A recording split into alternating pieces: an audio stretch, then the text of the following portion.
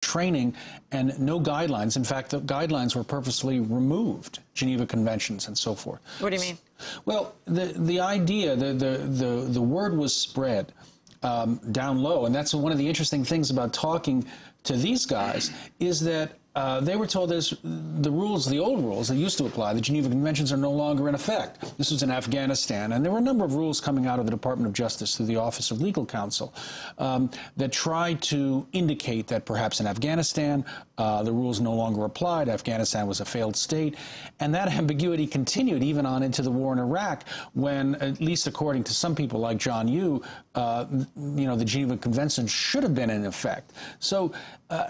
In the field, the message was clear. The gloves are off. Do whatever you need to do to get information. And a lot of military people were deeply upset by this because there are, you know, very clear rules and guidelines that the military has in place in order to forestall and prevent these kind of abuses that we've seen. But the administration, the civilian administration, was taking a very different attitude toward these rules and regulations. And, and what happened uh, to the uh, to the men involved in the actual uh, uh, beating and death of, of, uh, of this uh, Afghan driver?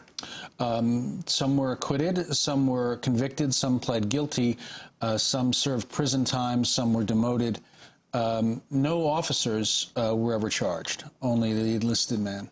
And um, it's interesting. At the end of the film, you know, there's a there's a law that our Congress passed with the urging of the president called the Military Commissions Act.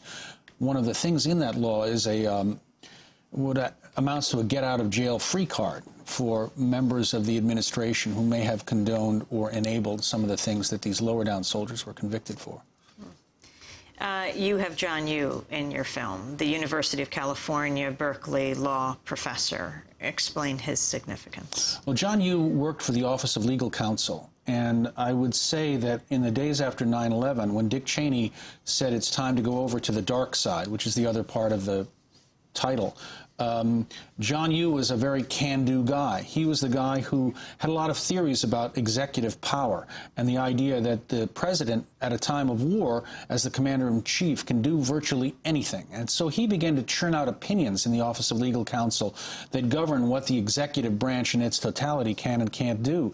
But these opinions went way over the line, as, as many people are recognizing now. One of them was the so-called torture memo, in which he basically defined torture out of existence, pulling obscure language from medical statute to try to um, uh, come up with a rationale for why the only thing that could be considered torture was something that intentionally resulted in death or organ failure. Well, that doesn't leave much room for anything, uh, you know, anything else. So, his position at the time? Office of Legal Counsel. He for, was in the Office of Legal Counsel. For a while, then he became a favorite commentator on the Lehrer NewsHour until until more of the information on these memos came out. We haven't seen him around on the Lehrer NewsHour too often lately. Were you surprised by your nomination for the Oscar for this film? Uh, I was uh, elated. Let's put it that way. I mean, this was a very difficult film to make. It also became very personal to me. Um, you know, I included a clip of my father at the very end of the film, to whom I dedicated it. He was a naval interrogator in World War II. Um, and he was really deeply upset about what was going on in Abu Ghraib and the news that was coming out about other abuses. Because he felt, as a naval interrogator in World War II, that he was standing up for a higher ideal. He got good intelligence. He didn't have to waterboard anybody. Uh, and so I included him in the film and I dedicated it to him. So after a long, long struggle making this film, uh, it was a tremendous um, pat on the back, if you will, or a tremendous vindication to have it nominated for an Oscar.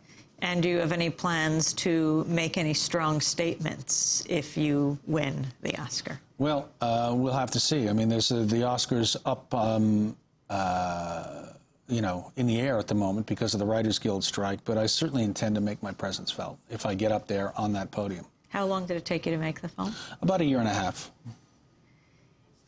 throughout the film, uh, there is this sense of the connection between the deaths. Um, the Afghan driver, you talk about the pulverizing of his body. They told these young soldiers to what, soften him up?